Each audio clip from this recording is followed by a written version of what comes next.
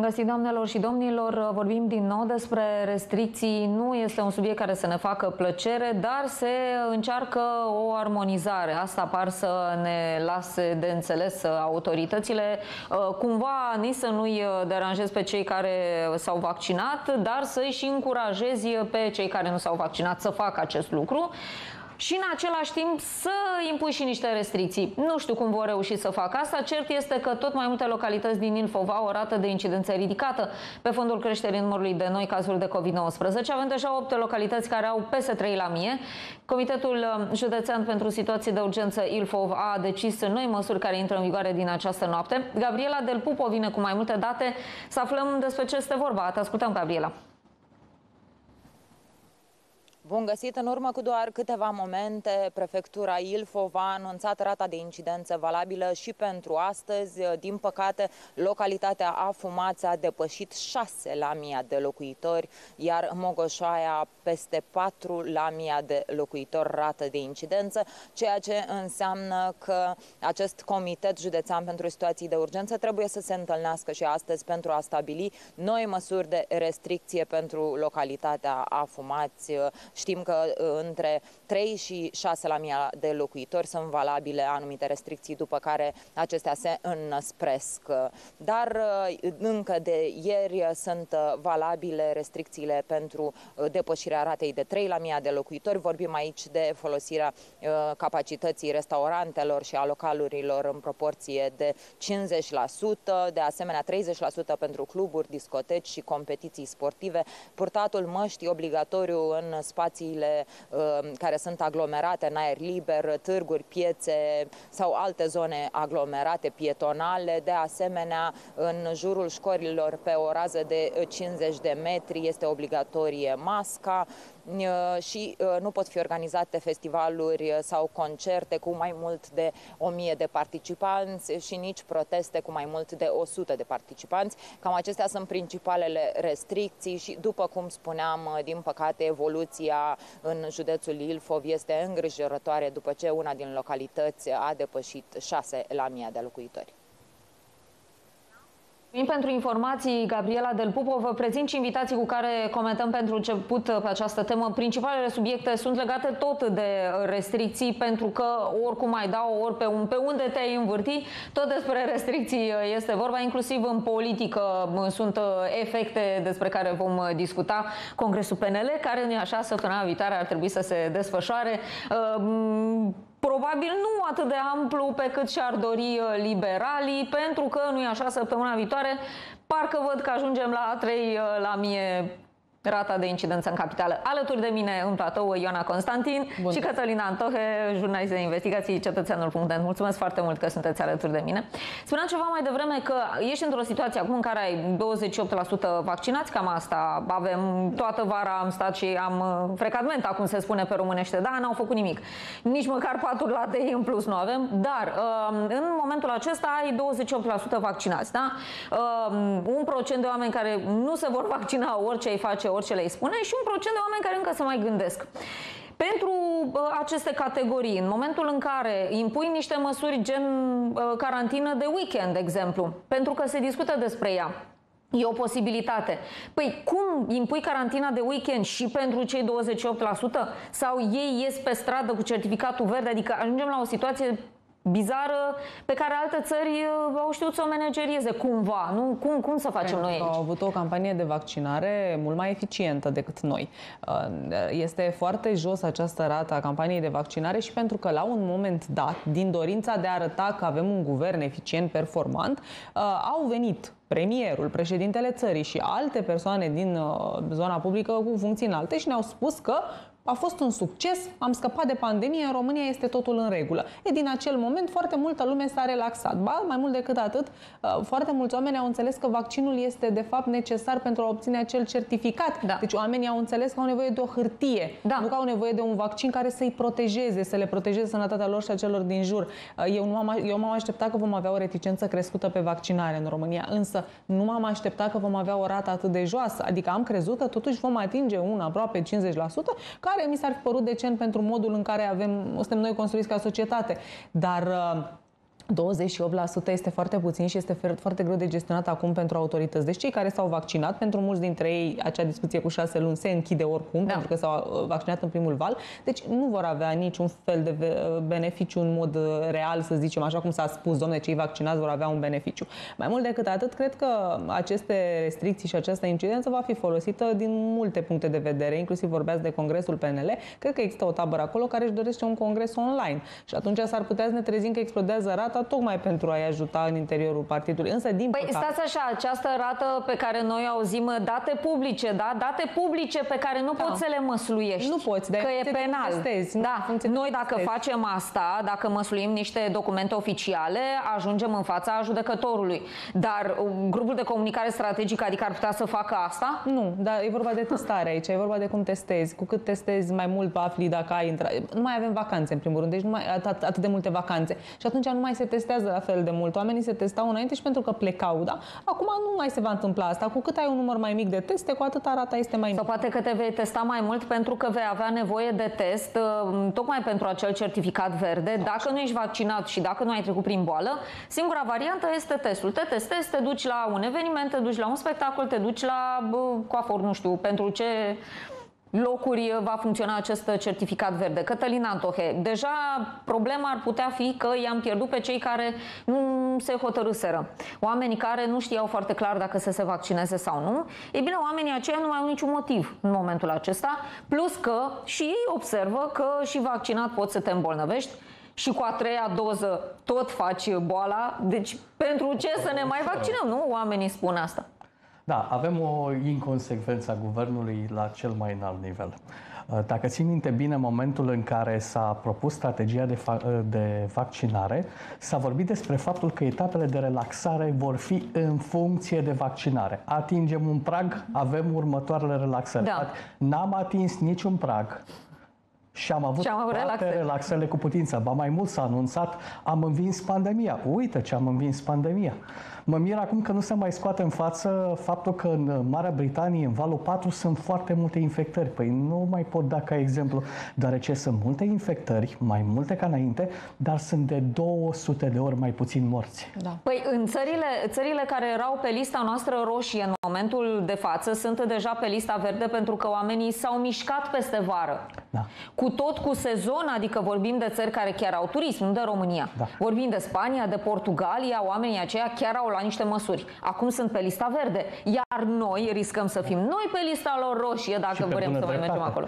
Da, dar să ne, mai, să ne mai amuzăm un pic tot pe această temă inconsecvenței. Vedem afumațiu, da? Popeștile Ordeni Uh, vai, acele localități trebuie să intre în izolare. Oameni buni, nu sunt la 200 de km distanță de București. Tot noi stăm aici. acolo, da. Exact. exact, lucrează în București. Nu poți să iei măsuri la nivel de autorități pe spații restrânse când vorbim de da. București. Ar trebui aici, ar fi trebuit să existe deja o autoritate metropolitană. În termenii aceștia trebuie gândit acum. Păi, ți se pare că se gândește nu se gândește cu absolut vreo strategie, inclusiv ce s-a întâmplat în București, cu toate restricțiile din București, cu străzile închise, cu mașinile care circulă haotic prin cred, centru. Cred că s-au uh, bazat și pe faptul că statisticile arătau că acum am intrat pe o zonă de platou. Dar virusologii deja spun altceva. Dacă, în mod normal, am fi fost într-o zonă de platou, era ok. Dar am avut vacanțele acestea da. la mare, am avut festivalurile, am avut Antoldu, este jale, nu s-a pregătit nimeni. A început școala și nu luăm singura măsură capabilă să uh, păstreze situația sub control. Testarea rapidă a copiilor au practicat-o Austria, o practică Danemarca. Lunea și miercurea copiii fac un test rapid neinvaziv. Deci nu e o problemă. Da. Dar îți vin copiii la școală fără simptome, dar purtători de virus cum descoperi atunci că, da, vedem deodată cum, ex, cum va exploda totul. Este posibil să ne bă, trezim în fața unei situații dată fiind disperarea, da? Pe unii i-a apucat deja disperarea în momentul acesta pentru că, și începe și facultatea, da. trebuie să discutăm și despre asta, dar uh, e o disperare că trebuie să-i primești pe oameni din nou la serviciu, mai ales vorbind de uh, spațiile în care lucrează foarte mulți, da? O fabrică. Tu ca patron ce faci? Îi nu. pui în fața faptului împlinit Adică, domnule, matale n-ai ce să cauți pentru că nu e vaccinat. Nu, cum? Dacă cum, cum ar permiți, trebui să aici- se aici gestioneze? credeți- Că nici pentru ei nu e ușor. Scuze, aici e chiar o situație gravă. Tocmai. Am vorbit cu astfel de patroni care sunt nu îngrijorați, înspăimântați Tocmai. că le scade productivitatea muncii, că se vor îmbolnăvi oamenii și nu pot să le impună condiția vaccinării angajaților deoarece vor fi dați în judecată. Unde este guvernul să-i ajute? Să le permită companiilor private să instituie această re- regulă. Ce se va întâmpla cu cei care nu mai pot să lucreze online? Pentru că, bun, hai să zicem, cei din IT, cei care bă, fac uh, proiectare, Ei cei rămân- care lucrează... ei vor cu- rămâne în online. Da, lucrează online, dar oameni care vor rămâne online. Dar ce se întâmplă cu uh, exemplele acestea, da? Foarte bune, de altfel, nu are fabricile. nici măcar Ce statul faci? cum să... Haideți acum să fim foarte onești. Nu prea are cum să intervine nici măcar statul să impună o astfel de regulă. Este, ar fi neconstituțional. Să nu poți să permită, oprești. să permită companiilor să impună regula. Nu poți să impui această regulă. Dreptul la muncă. Nu poți să-l obligi pe omul ăla. Vor trebui găsite condiții prin care să-i testeze. Nu poți să-i obligi dacă nu ești vaccinat, nu mai ai dreptul să Dar muncești. avem exemplu altor țări. Este în Italia, se poate în Franța, se poate introduce. Eu cred că Am ajuns mai drumul democrați este decât toate greșit. Nu, eu cred că democrațiile. drumul în sine este greșit, că de asta am închis școli, de asta am închis economie și de asta suntem în halul în care suntem aici. Noi nu am... Drumul este greșit, nu poți să te bazezi numai pe restricții, numai prin a impune. Nu poți să muncești, nu poți să mergi la școală. Nu, trebuiau găsite soluții prin care, prin campania de vaccinare, prin teste Păi suportate trebuiau de doar stat. că nici nu i-a ajutat nimeni, da? Adică în momentul în care eu am Operatorii 50 de economici oameni... ar trebui să primească, da, dacă vreți, niște măsuri, niște ajutoare pentru zona de testare. Nu poți Asta să ar fi, oprești da. dreptul la muncă. Ok, oamenii ăia nu vor să se vaccineze și ce facem? Nu o să mai vină la muncă. Unde găsești? Că piața forței de muncă iarăși nu e- este goală în Exact, momentul acesta. exact. Despre ce discutăm? Nu, uh, partea de mediu antreprenorial în România a fost lăsată la pământ total. Nu este niciun fel de pachete de măsuri, dacă vreți să comparăm iarăși cu alte state. Deci singura soluție pe care o mai au astăzi autoritățile este să dea niște beneficii, să zicem, da, pentru uh, patronii care plătesc, uh, suportă ei testele angajaților. Da, exact. Altă soluție nu există. Păi e În corect, Franța- adică am 50 de angajați, îi Nu e testez pe corect. toți, eu de fiecare dată plătesc eu ca angajator, la două zile plătesc testele. Că oamenii nu au vrut să se vaccineze. Asta e, nu pot să-i oblig. Dar eu ce fac? Adică toți banii mei de salarii se duc pe teste? În Franța s-a găsit o astfel de soluție. În Franța se permite uh, se permite agenților economici să ceară acest lucru, ca persoana să aibă un certificat. Deci, foarte bine, nu vrei să te vaccinezi? Perfect, adu de fiecare dată când e cazul certificatul că te-ai testat și că nu ești bolnav și că nu îmbolnăvești oamenii care lucrează acolo. Da? Adu certificatul, ori că ai trecut prin bară, Pare, ori că pare, te-ai a fi, testat, test pare, rapid. pare a fi o situație greu de rezolvat în România, pentru că în alte țări, da, e adevărat, da. și acolo au fost foarte multe nemulțumiri și au fost foarte multe măsuri abuzive, e adevărat. Dar uh, acolo s-a impus vaccinarea pentru toată lumea care lucrează în sistemul medical, pentru toți cei care lucrează cu publicul, pentru farmaciști, pentru toată lumea care are uh, deschidere către uh, a, uh, cadrele didactice de asemenea. E bine, în România nu poți să faci asta. Nu poți, pentru că ai o foarte puternică opoziție din partea oamenilor și mai mult de atât, nici măcar nu e stimulat, nu e motivat să gândească altfel. Toată vara, toată lumea a fost veselă, ne-am dus cu toții în vacanță în Grecia și prin alte părți pe unde s-a putut, în funcție de certificatul verde. Deci- și acum ne trezim Avem două mari probleme. Prima este aceasta că în cadrul companiilor oamenii nu pot să, să impună, că, să-și fie siguri că toată lumea la care le vine la muncă uh, este uh, sănătoasă. A doua mare problemă este următoarea. În momentul în care o să avem tot mai mulți spitalizați, se afectează dreptul la viață al celor care trebuia să se opereze, a celor care trebuia să facă tratamente împotriva cancerului. Vedeam o statistică. Da, anul sunt trecut au scăzut 88% cu dintre patru- cei care erau bolnavi de cancer au murit pentru că nu au putut să se trateze. Anul trecut au scăzut cu, pa- a scăzut cu 40% diagnosticarea cancerului. Asta nu înseamnă că a scăzut numărul de cazuri de cancer. Evident. Ci înseamnă Nu, au că- murit oamenii. Înseamnă că prin uh, această ignoranță în cazul unora sau decizie în cazul altora de a nu se vaccina și de a cre- crește rata îmbolnăvirii și afectezi dreptul la viață a altor români care au alte probleme. Haideți să fim sinceri, problema cu cei cu afecțiuni oncologice și cei care aveau nevoie de dializă și așa mai departe este că foarte multe dintre spitale au devenit COVID și accesul la servicii Exact. Păi medicale asta a fost este problema. imposibil. Nu că nu s-au vaccinat. Medicii Da? care nu se Despre ce ocupau de vorbim? COVID stăteau degeaba. Da, Păi- asta s-a întâmplat inclusiv în spitale mari din Bolnavii București. nu aveau acces Am, la Exact. acele am spitale. avut avut în familie caz de, o, de recidivă, ocluzie intestinală programată la operație, nu s-a mai operat. Evident. I-a spus medicul că nu se Că poate nu opera? se poate, se trecuse pe COVID. Da. Spitale transformate Și ce a în COVID. făcut? Ce, ce Din poți să faci? fericire nu a ajuns într-o fază acută în momentul Dar acesta. poți Da, ajunge iată, într-o bine, fază da. acută. Cine Bine. plătește pentru asta, pentru porcăria asta, pentru oamenii care au murit? Cine Și plătește? atunci ai dreptul ca stat să încerci să strângi un pic. Da? Să strângi un pic șurubul. Ai acest drept, uitați-vă, în Italia nu te poți urca în tren dacă nu ai... Nu, haide să, nu e o restricție împotriva celor nevaccinați. Ai tot dreptul să nu te vaccinezi, dar când urci în tren sau când te duci Să la ai un serviciu să test prezinți negativ. certificatul că ai fost testat și că ești în regulă. Îți dă mâna, fă asta. Bun, acum bă, să nu iei românului distracția, da? Să nu iei românului uh, nunta, pentru că sunt uh, inclusiv niște restricții legate de astfel de evenimente. Raed Arafat uh, a declarat că uh, noua optică nu ar trebui să țină de restricții, ar trebui să țină uh, cumva de uh, faptul că oamenilor li se permite să meargă la restaurant, de exemplu, sau la un eveniment, uh, dar cu un control sanitar. Decizia privind obligativitatea certificatului digital în localitățile cu rată de infectare mare intră în vigoare în această noapte. În loc să se închidă total după 3 la mie, în intervalul 3-6 la mie, s-a găsit o soluție prin care totuși să mai permitem activitățile economice să se desfășoare în anumit control sanitar aferent, și anume, în mod deosebit, verificarea celor care intră prin certificatul verde, care de altfel a fost aprobat prin ordonanță de urgență a Șeful DSU spune că certificatul digital nu este valabil doar pentru vaccinați, ci și pentru cei care au fost testați negativ sau sunt trecuți prin boală. De fapt, certificatul verde permite oricui să participe, dar cu una din trei condiții. Condiția 1, să fii vaccinat. Condiția 2, dacă nu ești vaccinat, să fii testat. Condiția 3, dacă nu ești vaccinat și nu ești testat, să fii trecut prin boală în ultimele 180 de zile. Totodată, Raed Arafat îi sfătuiește pe participanții la nunți sau petreceri să fie vigilenți în privința respectării regulilor sanitare pentru a evita răspândirea virusului SARS-CoV-2. Nu este suficient, pentru că știm că nunta înseamnă că oamenii nu vor sta cu mască. Vor dansa, vor umbla de la masă la alta.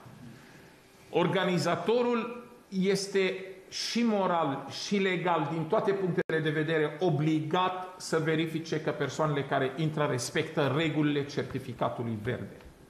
Mai mult decât atât, ospatarii și cei care deservesc, ei trebuie să poartă mască tot timpul și acest lucru este clar. Ei trebuie să poartă mască tot timpul, nu sub nas, nu sub bărbie și complet să acopere nasul și gura. Trebuie să se infecteze de la o masă la alta când ating lucrurile care le-au atins alte persoane. Trebuie să existe dezinfectant la fiecare masă și trebuie să fie atenți că lumea să respecte regulile. Dacă lumea nu respectă regulile, aceste evenimente pot să se transforme în evenimente de răspândire generală a virusului.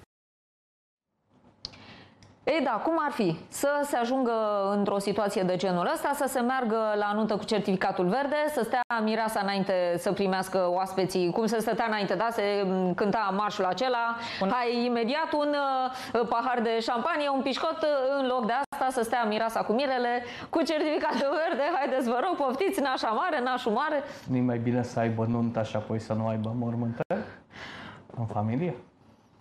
Că aici este problema. Suntem într-o situație specială, de acord, ai amânat poate nunta o dată, poate de două ori, atunci pentru a o face, încerci să respecti regula. Dar cum se va respecta ea la țară? Cine verifică dacă se Nu o face să asta? se Cine respecte verifică un nicio cod regulă, QR la de țară? discutat. Evident. Nu vedeți că am încurajat inclusiv această vaccinare falsă despre care La s-a chiuvetă. discutat la un moment Da. dat, pentru că noi am încurajat o hârtie. În România nu s-a explicat clar că acest vaccin este pentru a te ajuta, pentru a-ți proteja sănătatea.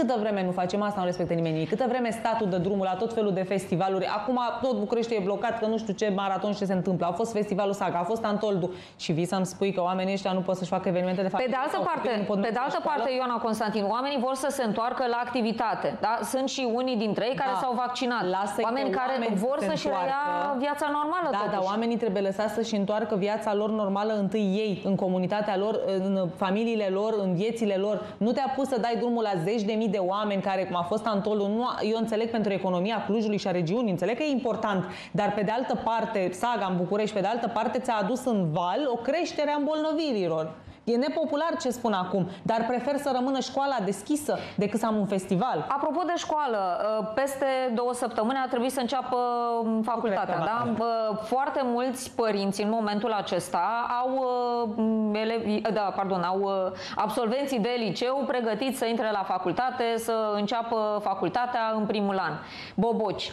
Ei, pentru oamenii aceștia este o foarte mare problemă. Ei au de trimis copilul undeva într-un alt oraș de foarte multe ori să plătească o chirie care nu este deloc ieftină, că vorbim de orașele universitare, și nu știu în momentul acesta îi facem bagajele, îi căutăm o chirie, începe școala sau nu? Sau rămâne acasă în fața calculatorului și face școală din bucătărie? Aia nu școală. Și pe cine interesează? Din autorități mă refer. Pe cine Păi interesează? avem un ministru al educației, avem un ministru al sănătății ministru care al ar trebui educației? să lucreze împreună ca să aflăm un răspuns un în ministru, curând. Un ministru al educației care se opune vaccinării obligatorii a case- a cadrelor didactice. Asta avem. Și atunci? Eu nu cred că Ministrul Educației cel care gestionează în sine toată această problemă. Aici Nu, a e susținut-o, a ultimul declarat-o că nu este Nu una, vorbesc da? de vaccinare, vorbesc de uh, accesul, dacă vreți, la începerea facultății sau continuare. Nu, nu e de la Ministerul Educației astăzi. Este un efort care ține de Ministerul Sănătății și de alte autorități, nu ține de Ministerul Educației. Ministerul Educației are alte politici de Bun, implementat. pe de altă parte trebuie să spunem că situația în uh, universitar este diferită față de mm, Da, tot nu se face școală Nu nici se în face online. școală. Nu poți să faci Nu, școală nu online. poți să faci școală online, dar e diferită în sensul că fiecare universitate are autonomie și ei pot să decidă. Da. Cei de la Babeș-Bolyai au zis deja, la Cluj, vin numai vaccinați. Așa au spus. În București își asumă cineva în acest moment să spună noi primim doar vaccinați? O, și să vedeți protestele celor care nu Păi, sunt vaccinați și suntem- câți vor ieși să-i sprijin. Suntem la jumătatea lunii septembrie. Oamenii ăștia trebuie să știe Nu, ce nu, se nu există întâmplă. predictibilitate pe nimic. Când vreodată am avut noi predictibilitate la firme, de exemplu, fiscală sau niciodată nu avem. Vedem din mers cum și, se întâmplă. și pregătirea pentru școală. Da. Să ne uităm că sunt dezinfectați cu 3-4 zile înainte. A- De parcă, n-ar, de parcă anul uh, școlar trecut ar fi fost în școli și n-ar fi avut timp. Deci au avut un an și ceva să pregătească școlile, iar problema a apărut cu 3 zile S-a înainte. irosit un, un an întreg degeaba, o vară întreagă în care se puteau pregăti spitalele, în primul rând, se puteau pregăti școlile, puteam să ameliorăm niște lucruri, că nu puteam noi să gestionăm valul 4, să-l oprim, nu, dar puteam să ameliorăm, să permitem, cel mai important ce era, să deschidem școlile, da? să lăsăm copiii să meargă la școală. Eu cred că asta a fost cel mai important și să ne asigurăm că economia poate Ce se va funcționa. întâmpla cu școala? Ajungem acuși la mă, 3 la mie incidență. Ce se întâmplă? Se închide școala? Uh, Se păstrează un sistem hibrid? Care e soluția? Pentru că și pentru părinți e foarte important să știe. La început vor înce- se vor închide școlile unde apar evidente primele cazuri pe acel sistem, cu atâți copii Focare. din clasă. Da, focare. Pe focare. După aceea, când se va generaliza, căci cu un asemenea stil de măsuri, e clar că vom ajunge acolo, la generalizare. Avem 6 la mie la marginea Bucureștiului și Da, Bucureștiul în regulă. Hai să fim serioși. Păi oamenii din... Păi de acolo vin Da? aici, de fapt. Exact. Păi, oamenii care stau în uh, Nici pe sectoare nu se roșu, poate. da? Comuna Roșu, de lângă București. Sunt oameni care lucrează în nordul Bucureștiului de cele mai multe ori. Aici trebuia... Sau în Otopeni, ce despre ce vorbim? Și în același timp nu facem în continuare nimic pentru succesul campaniei de vaccinare. Văd toate aceste uh, comunicate ale guvernului pe televizor. E bine să te vaccinezi, dar nu am văzut pe nimeni să facă un studiu real pe Facebook, pe grupurile de WhatsApp, să vadă care sunt principalele dezinformări, care sunt principalele temeri ale celor care nu vor să se vaccineze și apoi să pună specialiștii adevărați să le explice la televizor ca oamenii care sunt care ezită să se vaccineze din cauza acestor dezinformări să poată să facă asta în cunoștință de cauză. Credeți că mai e ceva de recuperat sau oamenii, inclusiv cei care erau nehotărâți, au uh, trecut uh, din tabăra nehotărâților în tabăra antivacciniștilor? Cum credeți? nu mai e de recuperat ceva semnificativ.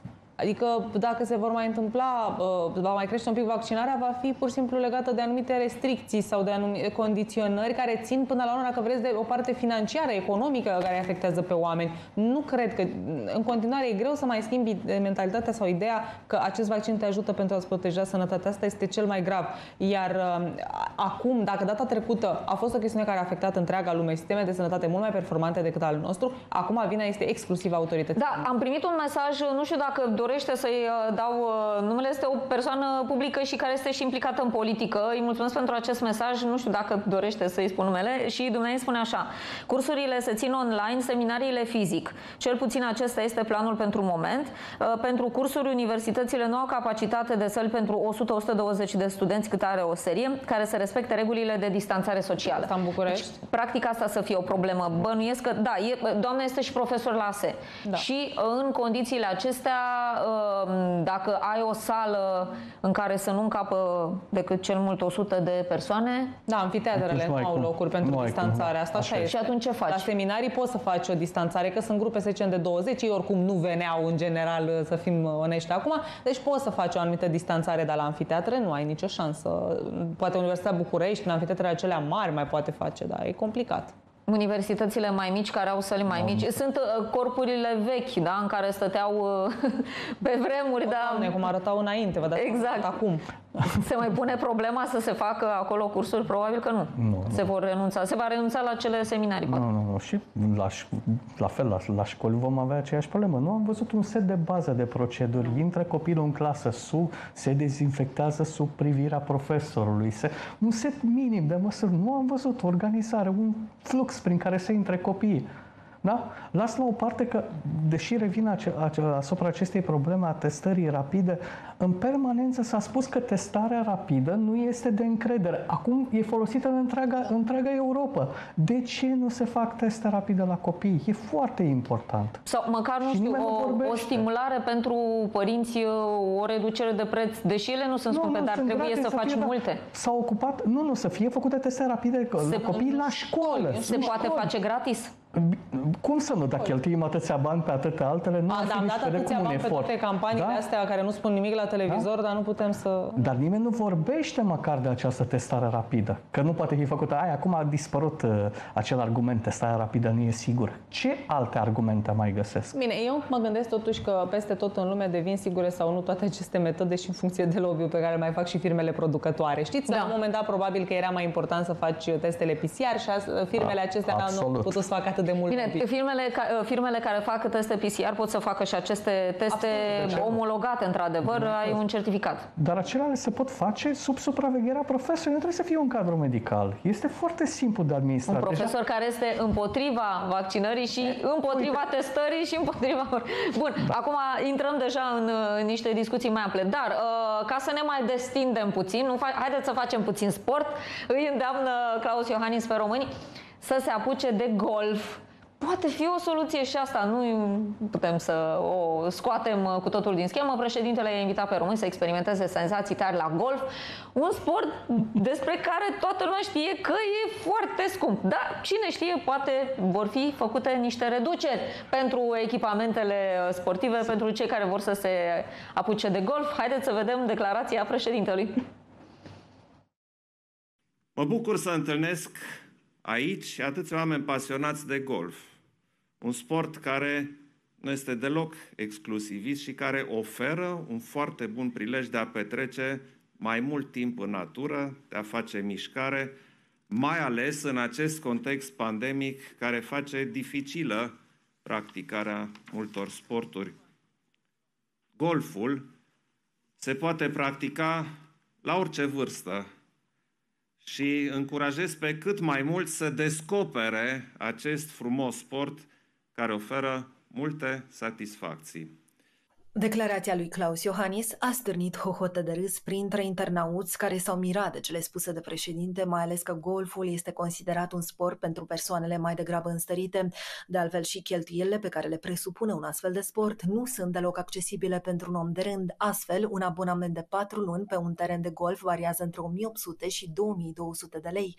Cei mai ieftini pantofi pentru golf costă 300 de lei, dar modelele de lux ajung și la 800 de lei. Cel mai ieftin cărucior de golf costă 1400 de lei, în timp ce un set de cross este în jur de 3600 de lei. Pantalonii de golf pornesc de la 200 de lei, un tricou de golf de la 150 de lei, un set nou de 15 mingi este 105 lei, dar profesioniștii recomandă ca amatorii să aibă cel puțin 200 de mingi, adică undeva în jur de 1400 de lei. Alte accesorii precum mănuși, perie de curățat crosa sau cuiele pentru minge ajung la 300 de lei. Dacă adăugăm și un pachet de lecții de golf în număr de 10, ei bine, sportul de care Iohannis spune că este unul accesibil, ajunge și la 11.000 de lei. Bun, uh, nu putem să nu fim de acord cu președintele cu un anumit punct că, da, mișcarea, mai ales în aer liber, este foarte sănătoasă. Avem un popor cu foarte mari probleme de sănătate, avem uh, o rată foarte mare a diabetului, a obezității, da, aici se poate face ceva. Dar nu știu dacă golful. Golf, Ei, nu? la salariul, Jucați golf? la Jucați salariul golf? acela de 3000 de euro pe lună, da. A, acela de care vorbea domnul În Câțu? fiecare weekend, de, de aici plecăm direct la golf, dar îmi scrie cineva să ia poporul credit pe 25-30 de ani la golf, că nu trebuie nici carte și n-ai nevoie nici de restricții COVID. Înțe- Asta este genul de reacție pe care ți-o stârnește. Este atât de inadecvat cu tot ce se întâmplă în România. Eu înțeleg, un președinte Totuși, de ce a țară... vrut să spună? Nu, ok, mergi la astfel de evenimente, dar trebuie să ai un discurs acolo, trebuie să încurajezi. Eu înțeleg lucrurile acestea, că face parte din instituția prezidențială, te par- participi la tot felul de evenimente. Dar este extrem de inadecvat cu România, cu ce se întâmplă astăzi, nu doar în România, în lume, în general. Iar golful nu e de departe vreun sport pe care să-l practicăm în masă. De exemplu, aș fi apreciat și uh, domnul președinte și soția dumnealui. Sunt niște oameni care practică sport. Chiar îi apreciez pentru asta, e foarte bine. Și în București, cu toată nemulțumirea, uh, e un maraton în desfășurare. Acesta e motivul pentru care sunt uh, o grămadă de străzi închise, unul dintre motive. Oamenii să facă sport, să fie această mișcare uh, foarte accesibilă, da? Îți trebuie o pereche de pantofi de alergat, pot să fie la 100 și ceva de lei, hai să zicem, găsești și variante mult mai scumpe dacă îți dorești asta, pereche mai de concurs. În București până și tenisul nu este un sport ieftin. Nu este. Joci tenis pentru că te Dar ai putea, ai putea să stimulezi, de exemplu, poți să închiriezi o bicicletă, da? să stimulezi uh, mișcarea în aer liber, prin parcuri. Ok, cum arată ele? Joggingul, poți să-l faci cu uh, niște Da, nu mai bine Costuri facem minime. niște investiții în bazele sportive, să ajutăm copiii, da. să încurajăm nu doar pentru sănătatea lor, ci și pentru că sportul de multe ori e șansă la o viață mai bună. Foarte mulți sportivi în lumea asta au avut șansa să iasă din sărăcie prin sport. Inclusiv pentru golf, poate și Tiger Woods nu, a fost în pentru această golf, situație, nu? Pentru golf, Rămâne, nu. rămâne și va rămâne mult timp Da. o categorie exclusivistă, dar într-adevăr nu putem să, ref- să ajutăm la refacerea bazelor sportive, nu putem să, reins, uh, să reinstituim printr-un sistem de subvenții uh, acei, uh, acei oameni care veneau la școli, la orele de sport și recrutau Exact, copiii da. pentru echipe. Am râs de Dacia de atâta timp, acum plângem după ea. Bun, a fost inadecvat președintele Total. făcând o astfel de... Total. Da. A Total. vrut poate Pare să rău spună că altceva și spun n-am asta, înțeles dar- noi? S-a exprimat nefericit, probabil. Adică era normal să Poate se vorbească. pregătește o campanie, nu știu, niște, o colaborare cu o firmă care aduce echipament sportiv pentru golf și vor fi niște reduceri, poate. Cine? Pentru vaccinați. pentru vaccinați, cum ar fi, da, exact. Pentru vaccinați, iată, niște avantaje în plus vor avea și Acces acces la la golf. golf. E normal să susțină un- într-un astfel de eveniment, să încerce chiar să facă o ușoară promovare, dar trebuie să țină cont că la o astfel de declarație se uită o țară întreagă, nu doar pasionații. Da, e, bă, știți, ține și de mediul antreprenorial foarte mult. În adevăr, zona de business uh, este din lumea aceasta. Pot să înțeleg un mesaj uh, din partea președintelui, dar este total inadecvat și mesajul și participarea și momentul a- actual. România nu e în faza de a discuta despre golf. Da, doar dacă te referi la acea categorie, nu 1% oameni care câștigă Nici peste măcar. 3.000 3.000 de euro. 3.000 de euro. Da, bun. Revenind după publicitate, uh, vorbim despre un alt scandal care a izbucnit uh, tot după un gest al președintelui Claus Iohannis. De data aceasta ne aducem aminte de istorie, dar este vorba despre uh, von Bruckenthal. Uh, Era un, uh, o figură luminoasă a istoriei românești până când, la un moment dat, cineva a spus că dar stai că el uh, a făcut niște lucruri, este un criminal, nu avem de ce să-i ridicăm o statuie. Haideți să vedem despre ce este vorba, dar după publicitate.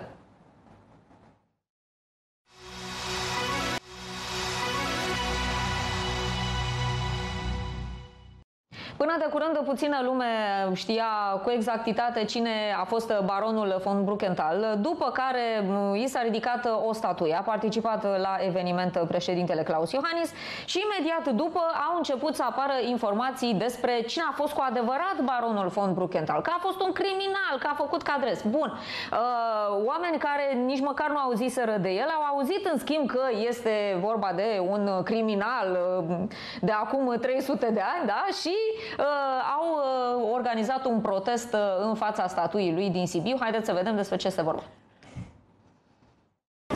Jos statuia! Jos statuia! Jos statuia! Jos statuia! Jos statuia!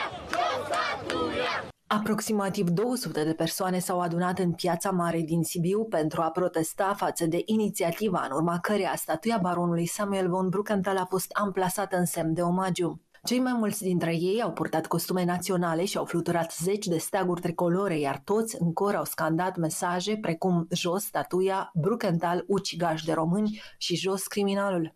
Imnul național a fost nelipsit și printre cântece patriotice două benere care înfăptuiau portretele celor trei conducători ai răscoalei iobagilor de la 1784 și executarea lui Horea și Cloșca, prin tragere pe roată, au fost expuse pentru a sublinia însemnătatea negativă a perioadei de guvernator al Transilvaniei a lui Brucantal.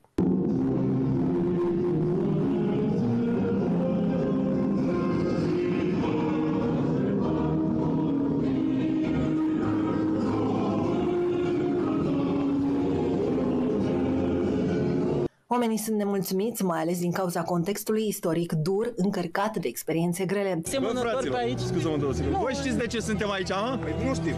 Da, păi Pentru că Iohannis și tot ce înseamnă guvernare au vândut țara asta. Și acum ca să-și bată joc de noi, l-au pus pe criminalul ăsta aici. Asta să știți. Revendicăm să dea jos această statuie. Eventual să o mute în muzeu. Politicianul Gheorghe Funar și-a făcut apariția la manifestație cu un mesaj puternic. Statuile acestor criminali și cotropitori trebuie demolate, iar numele lor să fie șters de peste tot de pe teritoriul României. Cântăreața de muzică populară, Veta Biriș, a fost și ea prezentă la protest și a interpretat un cântec patriotic. Tatăl meu mi-a învățat să-mi iubesc țara și să îmi cinstesc eroii. Și în memoria tatălui meu fac toate aceste lucruri.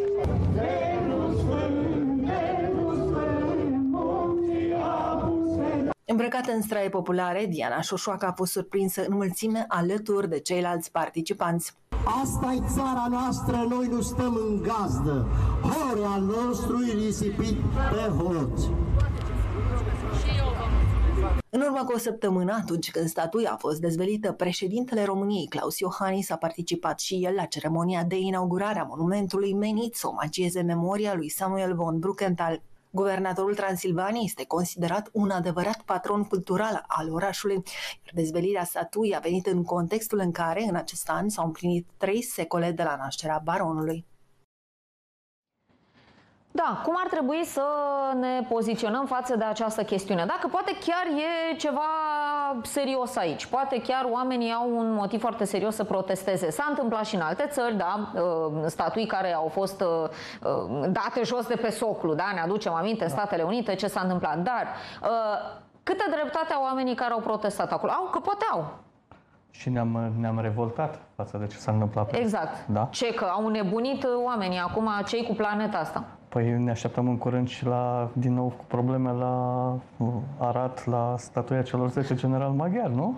Tocmai, întreb. Adică e, e un subiect este... delicat. Statuile Multă lume habar n-are cine da. e von Bruckenthal. Habar nu au oameni mulți români că el are o legătură cu uh, moartea lui Horea și Cloșca, pentru că Crișan s-a spânzurat în închisoare. Da. Bun. De asta și ce este mare problemă? Ca să împaci pe toată lumea, ca să, uh, municipalitatea să pună o plăcuță care să dea și aceste informații. Un disclaimer. Da. Pentru că, în definitiv, bustul lui Bruckenthal nu este acolo ca om de administrație, ca om de stat, ci în cele din urmă ca om de cultură, da? Prin ceea ce prin ceea ce a făcut acolo. Dar de ce insistăm să privim istoria, trecutul, prin ochii prezentului? Istoria trebuie să-și aibă locul ei acolo, să avem reperele, să aducem, să avem un astfel de disclaimer, da? În care să fim informați și atât. Ce, ce sigur, ce de barbarie să dărâmie, să dărâmie statuile. Da? Apropo de statuia celor 10 uh, general maghiari, țin minte că la Arad trebuia să construim un mare monument al uh, Unirii. S-au plătit, s-au dat banii, nu e nici până asta, s-a terminat cu el. Da? Ioana Constantin, cum ar trebui să ne poziționăm față de acest subiect care a fost creat în ultima perioadă. Nu e, el nu exista înainte să de dezvăluirea statului. Și al cezarului, doamna Turcan a fost pe care i-a orat la mulți ani și de acolo am început da, să da, da, multe corect. lucruri. Nu domnul Iohannis e vinovat neapărat, dar uh, Eu cred că problema începe așa. Uh, această statuie sau participarea domnului Iohannis acolo a fost uh, în apropiere sau că nu știu chiar în aceea zi cumva cu festivitățile de la Țebea, de exemplu, unde foarte puțini dintre oficialii noștri au mers uh, la Goruna acolo, dar e important să ne cinstim și noi istoria așa cum se cuvine, ceea ce nu se mai întâmplă în ultima perioadă. Vorbeați de monument de unire la Arad, da, sigur, da. Ce să vedeți, niciun partid parlamentar n-a condamnat uh, pactul Ribbentrop-Molotov uh, în august, de exemplu. Adică uităm de niște lucruri care țin de noi și facem astfel de evenimente care s-ar putea să dea apă la moară foarte multă unor oameni, cum este, de exemplu, doamna Șoșoacă. Are ce altă treabă are decât să meargă acolo și să pornească o anarhie împotriva unui nu e, nu e nimic în neregulă să protestezi, da? Doamna e Șoșoacă, să nu uităm însă, asta. este un om politic. Un om politic Sunt. va profita de orice ocazie care îi se va ivi da. să își facă imagine, da? Asta face un politician, iar doamna Șoșoacă nu se pricepe unul, la asta. Nu neapărat unul responsabil. Evident, nu vorbim de responsabilitate aici. Da. Aici vorbim strict de imagine. Doamna Șoșoacă știe să facă asta. Știe să facă scandal, știe știe să profite de orice situație ambiguă și să o uh, transforme în subiectul ei, ceea ce s-a și întâmplat acum. Da. Și atunci, dacă dorim să fim politically corect, facem astfel, de, voi instalăm astfel de, discre- de disclaimer la toate monumentele. Pentru că, iată, îl avem, îl avem pe Carol I, avem o domnie absolut extraordinară, cea mai lungă din istoria României. Dar, în același timp, în perioada lui a avut loc ultima jacherie din Europa, 1907. Da? Avem și cu reprimată, cu brutalitate, da. cum a fost, nu blamăm acum. Dar dacă vrem să facem asta până la capăt, haide să facem istoria până la capăt că la orice personalitate istorică sunt sigur, că, sunt sigur că găsim o grămadă de lucruri. În toată lumea asta. Absolut. Și în, to- și în istoria da. mondială găsim da. tot felul de Dar trebuie să ținem cont de, de modul de viață de atunci, de sistemul social de atunci. Da? Atunci când facem astfel de aprecieri. Dar noi privim istoria prin prisma prezentului. Ceea ce de multe ori este o greșeală. Sau folosim. Da, exact, sau folo- mai degrabă o speculăm. Special, da, speculăm. Da. Despre asta e vorba, de fapt. Da. Exact. Și la final nu se mai înțelege nimic și totul pare un atentat la valori, la valori naționale, la istoria noastră, dar nu e întotdeauna așa. De multe ori este o inadecvare. Până la urmă, domnul Iohannis nici nu înțeleg de ce a mers să se ocupe de această statuie acolo. Din o altă inadecvare. Uh, fiind un om legat de Sibiu în continuare, o să legat în continuare, de... Doamne ajută, din 2024. E o greșeală. Bine, acum... Nu, na, neapărat. nu, știm, nu știm ce va alege. Poate va alege să rămână la București nu sau cred, să nu, plece pe o funcție. Suntem, la un moment dat se discutat despre o funcție așa. importantă la Bruxelles pentru președinte. S-a discutat și la sfârșitul primului mandat. Da, da, da. poate era mai oportun atunci, într-adevăr. Mm. Era mai de folos tuturor. Sunteți răutăceasă. Acum na, trebuie să-i luăm în calcul pe românii care l-au votat, pentru că sigur aceștia au fost da, majoritari sigur, și sigur. datorită sigur. lor foarte este bine, președinte sigur, Claus Iohannis. Decât doamna Dăncilă sunt, sau poate ne distram mai bine. Cert că toate aceste subiecte acoperă, nu, acoperă alte evenimente Despre care se întâmplă în acest moment. Da? De Congresul PNL, într-adevăr, se vorbește, dar avem pe 3 octombrie Congresul USR. Da. da? Se votează A, electronic. Da, de se votează electronic, dar Congresul va valida. Uh, avem încă toate aceste situații nere- nerezolvate la nivelul mai multor primari. Da? Și? Adică aceste uh, dosare care nu-și urmează cursul sau cazuri. Uitați, văd un mare scandal în continuare pe zona Timișoara, dar uh, faptul dacă Dominic Fritz avea dreptul sau nu avea dreptul să candideze. Și nu se naște o dezbatere. Nu este, nu este un subiect național acesta. Nu este un subiect, este național, un subiect, subiect care important. are importanță acolo da. pe plan local. Poate dacă am vorbit noi acum despre asta, ca și cum am vorbit totuși și despre ce s-a întâmplat la Sibiu, dar, dar acel protest cu doamna Șoșoacă a da. făcut ca acest subiect, care era strict local, nișat la Sibiu, să devină un subiect național. Dacă vrei să transformi un subiect național, un, un subiect de acest gen într-unul național, organizezi un protest, o trimiți pe doamna Șoșoacă și s-a rezolvat treaba. Mai ales pe rețelele de socializare va fi... Da.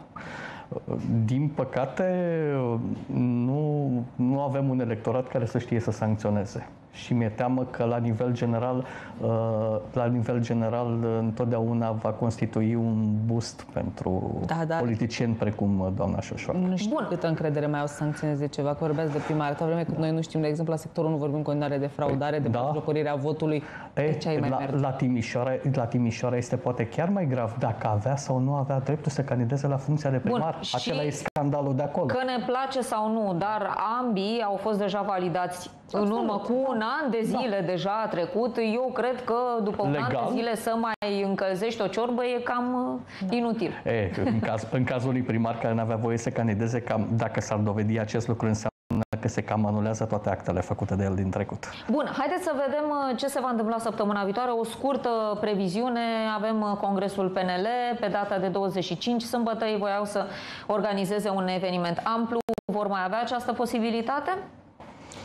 E posibil să nu, eu cred că nu. Nu? Eu, eu cred, Se va ține tind, online? tind mai mult să cred că nu, depinde acum care este logica Mm. votului. Au dat deja, au dat avansul, nu ca la nuntă, nu vorba aceea. Sau va fi certificatul verde, iar oamenii vor fi primiți pe baza lui la eveniment. Da, e și mai, asta o variantă. Mai degrabă și uh, probabil că dacă va fi, uh, uh, dacă va fi acest 3%, măsurile pentru 3% vor fi luate la un interval de 2-3 zile după ce se va anunța, deci da, e o marjă. Cetățenii să se vor țină. întreba, deci voi ați putut să faceți un congres cu mii de oameni, dar pe noi ne trimiteți în casă sau copiii noștri nu mai merg la școală. Da, această discuție a fost și la alegeri, de exemplu, da. Da, da, Da, alegeri așa un pic va fi. altfel.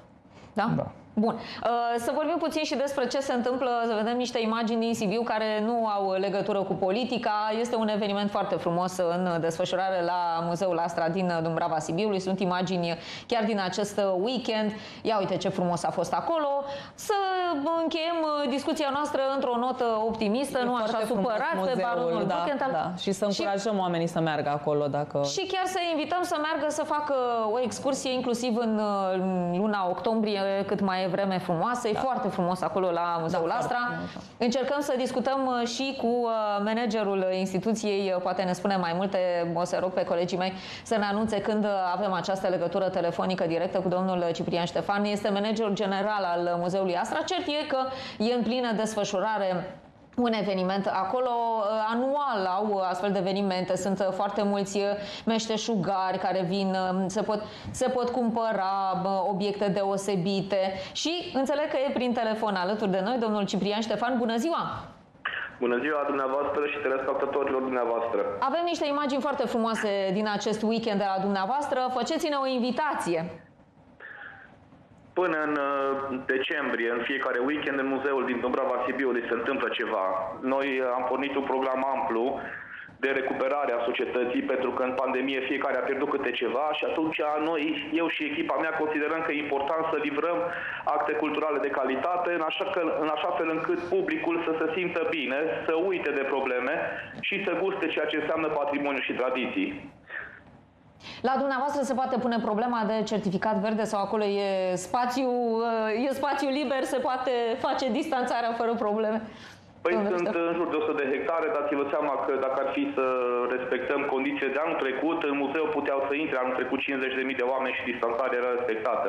Și dacă s-a Pentru putut anul evenimente- trecut, sigur se poate și anul ăsta. Exact. Mulțumim, mulțumim foarte mult, Ciprian Ștefan, a fost manager general în Muzeul Astra. Mergeți acolo, faceți-le o vizită, că e frumos și merită. Vă mulțumesc foarte mult că ați fost alături de noi. Pune punct aici discuției, ne revedem la fix la știri.